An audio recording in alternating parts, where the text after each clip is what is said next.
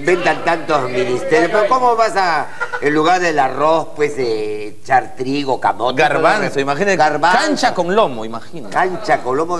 No, el ministro estaba fuera de foco realmente, pero no. Bueno, el que no está fuera de foco es el procurador Vargas Valdivia. Dice, ha citado a las geichas y él mismo les va a hacer la entrevista. Vamos a ver. Bueno, señores periodistas, como ustedes sabrán que vamos a citar a esas dos periodistas para que nos demuestren la vinculación que tenían con el expresidente y prófugo Fujimori y queremos que nos hagan una reconstrucción de los hechos en la cama. Yo mismo voy a hacer la entrevista, me voy a sacrificar, qué rico. Pero miren la cara, son bonitas de, cara, pero de cuerpos también mataditas. Qué diferencia de Vladimiro que sí sabía escoger sus presas, ¿no? Yo no entiendo por qué las periodistas han sido sometidas, dónde está su ética. A mí me gustaría que me entreviste, por ejemplo, Jessica Tapia, Claudia Cisneros, ¿no? En una situación como esta.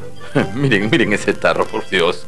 Qué bárbaro, yo no doy ni 10 soles por eso. Pero bueno, el chino es el chino. Sin embargo, estas periodistas van a tener que responder por qué tenían esa confianza con el señor de la yuca. Ahí se comprueba la hipótesis de Susana Iguchi que decía que el chino era aventajado. Observen ustedes estos lotes, por favor. Ahora entiendo por qué el chino recorría los asentamientos humanos. Pero no solamente son periodistas mujeres, sino también hombres, o al menos eso parecen. Toda esa corrupción se tiene que investigar. Miren ustedes, la entrevista del año le llamaron. Esto se tiene que aclarar. No sé cuándo, pero se va a investigar. Tenemos tantos y tantos casos que no sé por dónde empezar. Pero las cosas que vayan apareciendo, ahí hablamos de ese tema actual. Chino, ven para mostrarte un titular que te va a gustar. No hombre. jodas, estoy conversando, ratito. indicaciones precisas en ese sentido. Bueno, ¿qué le vamos vas a preguntar? Oye, pelado, sal de ahí. Fuji, Fuji, hazme caso, vamos afuera un ratito. No jodas. Oye, vamos afuera, hay una hembrita ahí, ven. Hubieras avisado antes. Chao.